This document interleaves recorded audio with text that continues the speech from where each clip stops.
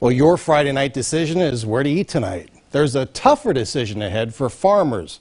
What should they put in the ground? For some, it's a simple rotation. But there's a big factor this year. The war in Ukraine is changing the price of one crop, and some Ohio farmers may try to capitalize. Planting decisions are always tough for farmers. Some may chase the money this year. Uh, wheat prices are really high right now, uh, so they're interested in wheat. The crop price is the highest it's been in 14 years. Laura Lindsey is an OSU associate professor, an expert on soybean and small grain production.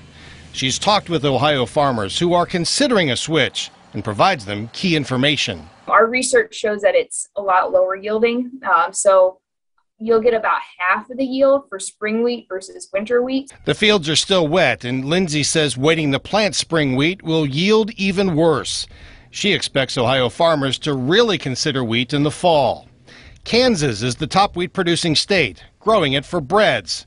Ohio's winter wheat is softer, used more for crackers, pastries, cakes, and cookies.